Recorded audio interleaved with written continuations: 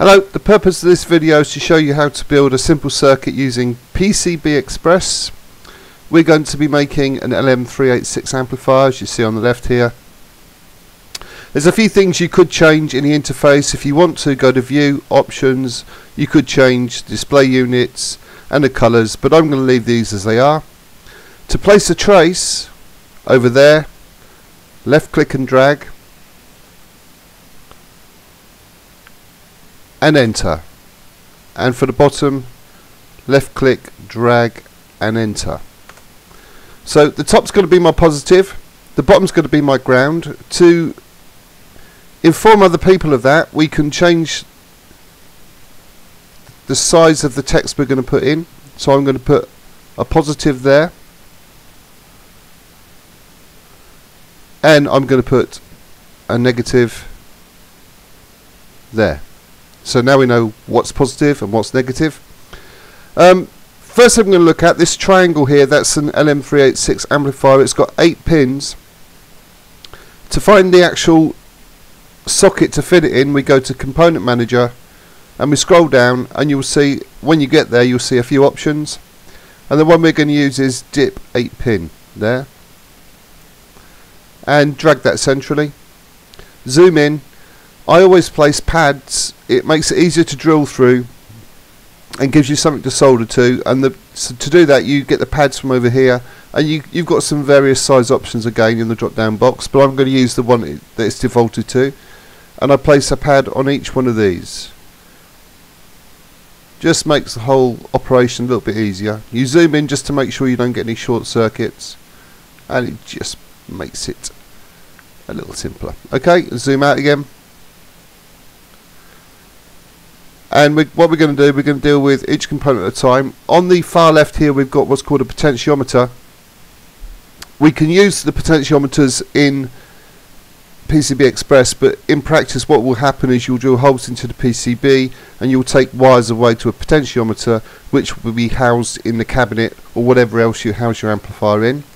But just to show you how it's done component manager scroll down or type in P scroll down a bit further and you've got some options and the option I'm going to use is this one here.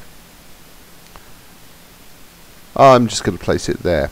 Now the this pad here represents the center of the potentiometer and the other two are the signal and the ground.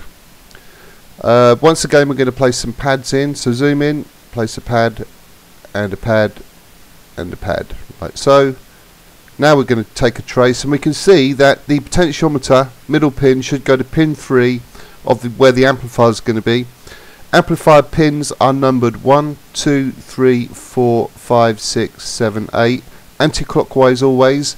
With any of these particular um, ICs they always number 1 through to whatever the top pin's called and they always go anti-clockwise. We're going to get our trace and we're going to go from there to there. So there we are, that's pin 3 connected. We also notice that pin 2 and pin 4 go to ground. The easiest way to do this is simply to take 4, connect it to 2 like so, and then take that down to ground like so. And we also notice that the potentiometer itself has one ground and one signal in, well the easiest way to deal with this is simply to take one of the potentiometer pins to pin 2. You could do it to pin 4 but actually pin 2 is much easier. Zoom out again. The other potentiometer pin is going to be the signal I'm going to make the trace a little bit larger for this.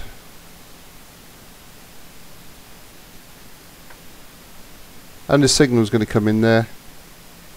And I'm going to put a bigger pad as well.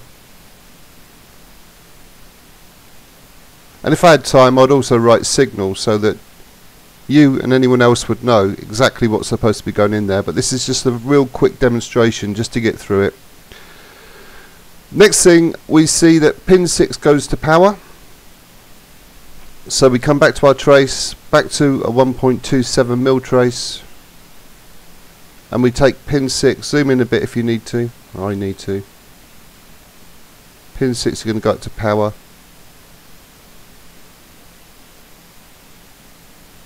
Like so.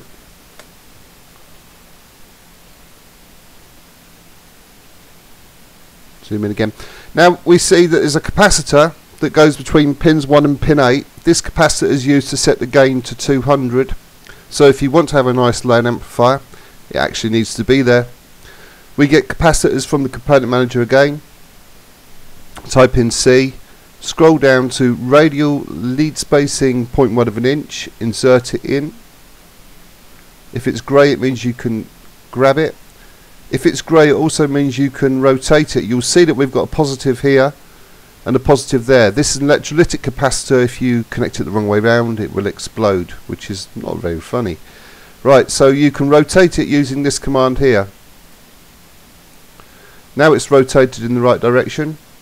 I can well the first thing I want to do I need it again so I'm going to right click copy and I'm going to paste the copy somewhere else for using later. But first things first once again we're going to use a pad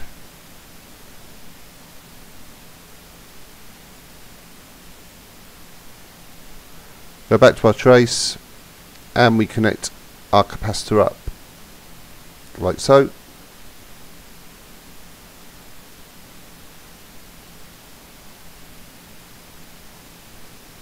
Yeah not very neat. Sorry about that but uh, as I said it's going to be quick.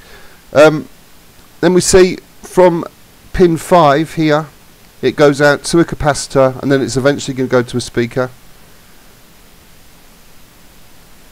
Zoom in again and you should get the idea that it's really just a case of repeating stuff you've already done. Place the pads. Uh, we come out here. There's pin 5 and what I'm going to do I'm going to take that and I'm going to put another pad on the end and that's that will be where the speaker is. For convention's sake I'm going to use the same as the signal in I'm going to take a trace from ground.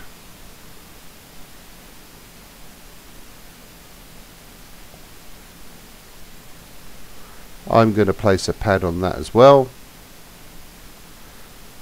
And I expect I will also put the, the text in there. So we'll put speaker SPKR and we'll put that something like there. So you know that's a speaker there is also these components here which help to improve the frequency response to the amplifier. You should know actually how to put those in yourself by now.